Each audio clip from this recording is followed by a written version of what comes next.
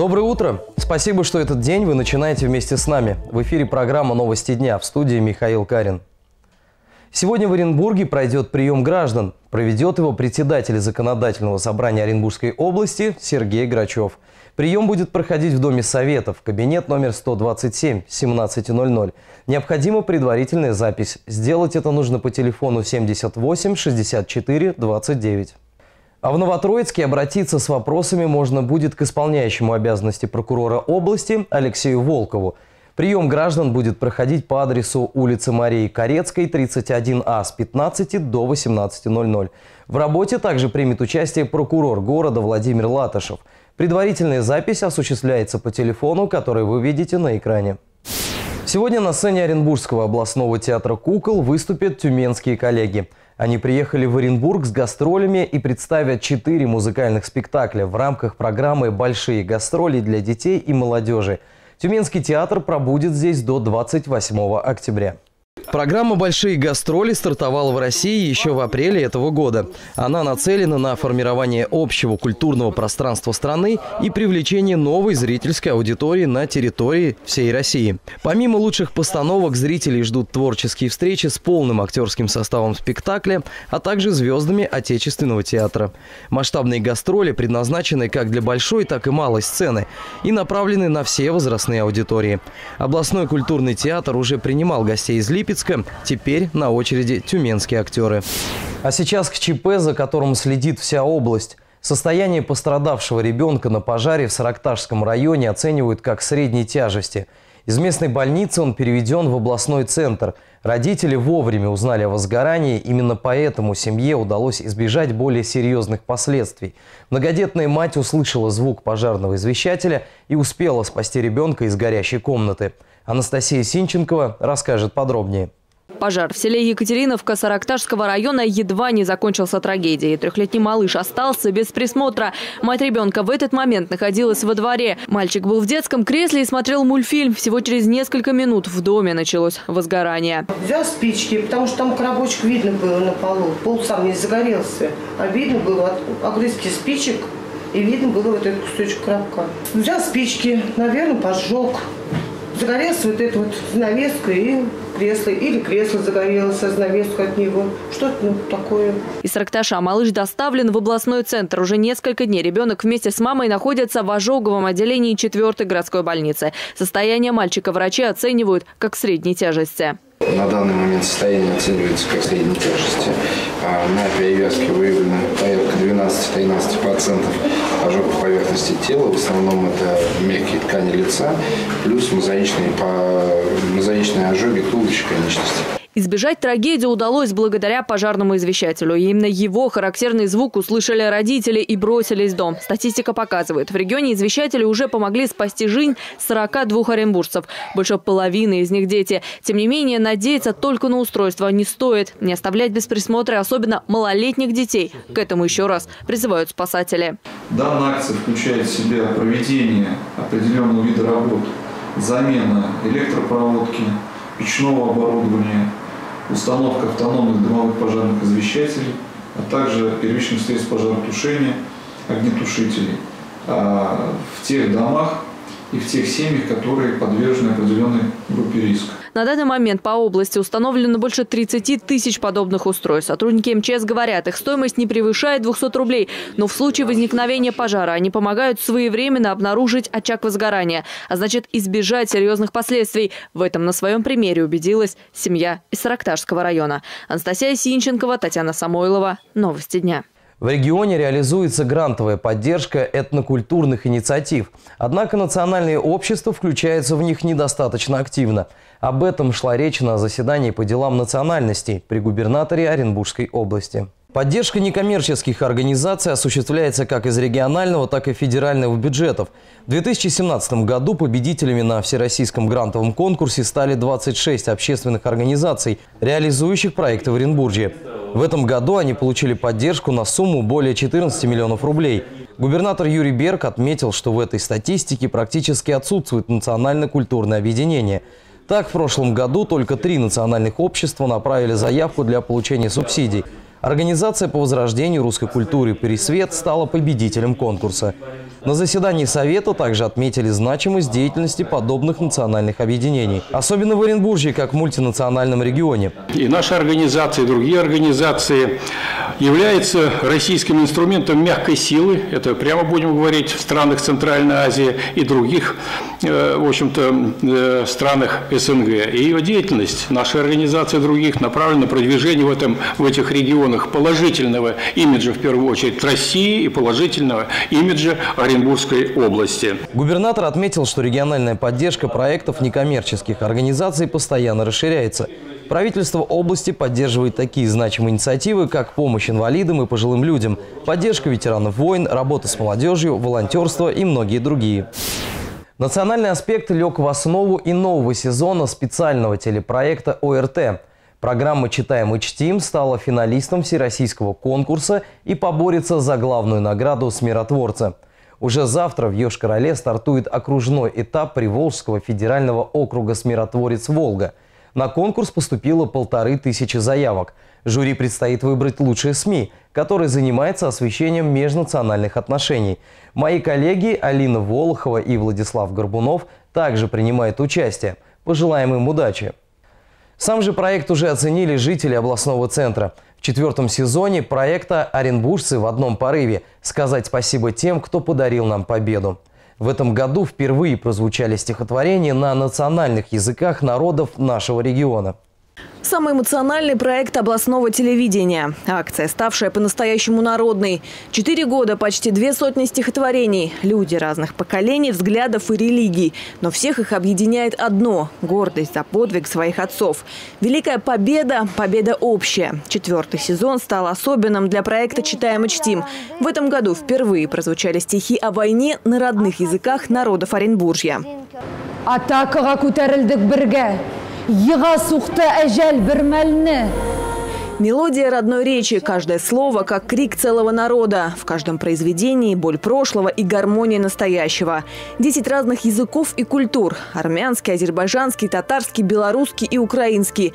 Жизеража Парбергенова прочитала стихотворение на казахском языке. Женщина признается, что родная речь стала звучать все реже. И так важно именно сегодня сделать все, чтобы сохранить культуру разных национальностей. Эта война касалась всех народов мира, мне кажется. Все национальности в этом участвовали в этой войне. Стихотворение, как бы как война началась, как она заканчивалась, и про ветеранов. Среди участников акции те, кто уже не первый раз становится частью телевизионной команды. Константин Ерофеев уже второй год подряд принимает участие в проекте «Читаем и чтим». На этот раз стихи о войне звучат на родном чувашском языке. Пәтерзем пала чулым виде, олапцем бекудащий паян, манширживен юридики виде, аслатили, керлеть ян даян. Особый национальный колорит проекту подарили образы участников. Богатство татарской вышивки, утонченные азербайджанские мотивы и строгая роскошь армянского народа. Уникальная для нашего региона акция, которая стирает границы такие проекты, которые сейчас запустился, они очень важны, потому что они оставляют пространство, где можно это использовать, где можно услышать этот язык. Мне кажется, что это такой маленький шаг к большому-большому делу, когда мы все вместе, наверное, все-таки придумаем в России, как нам сделать так, чтобы каждый россиянин знал не только русский язык, но и еще один язык, своего соседа. Читаем и чтим в эфире уже четыре сезона. Первый год любимое произведение о войне прочли сотрудники ОРТ, журналисты, операторы и режиссеры. Они дали старт масштабному патриотическому проекту. Спустя год к нему присоединяются политики и общественные деятели. А уже в 2017-м проект стал по-настоящему народным. Желающих было столько, что руководство канала принимает решение выйти за пределы телевизионных стен. Мобильная студия ОРТ работала в самом центре Оренбурга. Пять часов и десятки тех, кто пришел сказать спасибо ветеранам. Алина Волоха, Владислав Горбунов. Новости дня. К другим темам. Переполненные мусорные баки. К нам в редакцию обратились жители поселка Карачи в областном центре. Люди говорят, что соседствовать рядом с мусорными кучами они уже не могут. Решить проблему самостоятельно не получается, говорят люди уже на протяжении трех лет – Наша съемочная группа выехала на место и попыталась разобраться, в чем причина недовольства оренбуржцев. Наталья Мороз продолжит тему. Шифер, балки, панели сюда свозят весь крупногабаритный мусор. По словам местных жителей, делают это люди из соседних поселков. Причем переполненными контейнеры становятся буквально за один день. Эта дорога делит поселок на два лагеря. Многоэтажные дома с одной стороны, коттеджи с другой. Предмет многолетнего спора – мусор, а вернее его количество. Сюда водят из экодолья, из весеннего. И что можно сделать? Особенно летом, особенно когда начинаются ремонты. Да, с весны. Э, это что-то. Едем в поселок Весенний. За чередой красивых домов определить место, куда люди выбрасывают мусор, так и не получается. Проезжаем по третьей улице уже, и нет ни одного мусорного бака. Пока нам не встретился вообще. Люди по ту сторону баррикад обращались к депутатам в администрацию. Там, по словам жителей, им предложили увеличить количество выгрузки контейнеров. Однако это ляжет нагрузкой на кошельки жителей многоэтажных домов. Увеличится и оплата за услугу. Почему современный коттеджный поселок до сих пор остается без мусорных баков? Этот вопрос пока остается открытым. В официальном ответе на запрос нашей редакции глава Южного округа Артем Гузаревич переадресовывает весенний сельсовет. Но ниже поясняет, что по данному адресу все действия в рамках закона района. Все необходимые контейнеры на месте. Бытовой мусор вывозят ежедневно, а крупногабаритный – два раза по графику. При выявлении фактов нарушения данных правил членами административной комиссии Южного округа составляются протоколы об административных правонарушениях. Проводятся рейды дежурства в местах стихийного образования несанкционированных свалок. Принимаются срочные меры по их ликвидации. Вопрос сбора и вывоза ТКО на территории Южного округа находится на постоянном контроле. Но со следующего года в стране заработает новая система обращения с бытовыми отходами. Их планируют не просто отвозить на свалки, а перерабатывать. Все это ляжет финансовым грузом на плечи россиян. По подсчетам экспертов, стоимость вывоза мусора вырастет от 12% до нескольких раз. Все зависит от региона. Платить придется всем, в том числе и жителям поселков, где до этого с таким понятием в квитанциях и не сталкивались вовсе. Наталья Мороз, Константин Воробьев. Новости дня. Готовы ли оренбуржцы платить не только за вывоз, но и переработку мусора? С таким вопросом мы обратились к жителям областного центра. Их мнение в нашем следующем опросе. Пусть даже мы будем за это оплачивать, но вот, вот, пожалуйста, вон пакеты все валяются, все с этим, это все, а это же все будет убираться, это все будет, ну, и свалки такие не будут. Ну, я не знаю, но вот у меня вопрос такой возникает, почему я должен платить? Нет, я не готова. А почему? потому что я пенсионерка, у меня очень мало денег. Ну, ради благополучия, ради природы, для того, чтобы для детей что-то досталось. Смотря какая сумма, опять же, конкретно. Понимаете, все зависит от того, сколько платить, когда платить, какой частотой платить. Город будет чище. У нас люди все равно мусор раскидывают по всему городу. Переработка будет, хорошо будет. Но все равно же мы платим. Надеемся, что будет чисто у нас. И о погоде. Синоптики предупреждают, она будет неустойчивая. Ожидаются как плюсовые, так и минусовые температуры. А ясную погоду в начале недели сменят дожди первые дни недели область под влиянием антициклона. На улице переменная облачность и без осадков. Температура будет меняться на несколько градусов. Если во вторник ночью минус 2 плюс 3 градуса, в среду в ночные часы уже плюс 5 плюс 10 градусов. Днем в эти дни до плюс 14. Но погода без осадков продлится недолго. Уже в четверг в регион придут дожди. Их будет сопровождать ветер. 25-26 облачно с прояснениями, местами дожди, ветер южный от умеренного до порывистого. Ночная температура 25 плюс 4 плюс 9, днем 10-15, а 26 7-12 ночью и 12-17 днем. Выходные осадки ожидаются только в субботу, но в эти дни станет значительно холоднее. 27 октября температура ночью плюс 2, плюс 7. Днем столбик термометра поднимется лишь до отметки плюс 9 градусов. Изменчивая погода привычна для третьей декады октября, отмечают в гидромедцентре. Неблагоприятных явлений синоптики не прогнозируют. В Оренбурге состоялся благотворительный футбольный матч памяти Игоря Чумейка – на поле стадиона «Газовик» вышли сборные ветеранов России и оренбургского футбола, рассказывает Анатолий Юденич. В прошлом ноябре ушел из жизни самый популярный игрок в истории оренбургского футбола Игорь Иванович Чумейко. И вот спустя год на стадионе клуба, в котором он играл, а впоследствии возглавлял, состоялся товарищеский матч ветеранов. В Оренбург приехала сборная Союза ветеранов футбола России, прославленные спортсмены, чемпионы советских, российских и международных турниров. Хлестов, Ковтун, Ананка, Кирьяков, Карнаухов и другие звезды отечественного футбола. Люди, которые играли на высоком уровне, добивались побед на всевозможных турнирах клубных, на уровне сборных.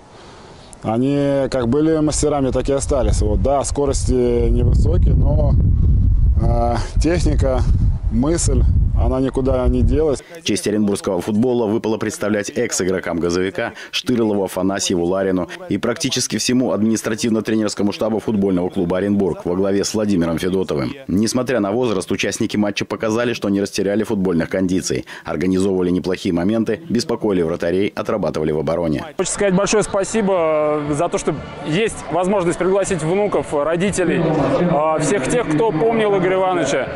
Почтить его память продолжить свой путь дальше. Игра была отмечена единственным забитым мячом. Его в наши ворота отправил некогда стремительный и грозный форвард национальной сборной Сергей Кирьяков. Но, конечно, счет не был главным в этой встрече. По окончании были дружеские совместные фото, автографы болельщикам. По словам руководителя Оренбург «Газпрома», вырученные от продажи билетов средства пойдут семье Игоря Чумейка на установку памятника. Анатолий Юденич, Владимир Зволинский. Новости дня. На этом все. Корреспонденты ОРТ и я, Михаил Карин, желаем вам хорошего дня.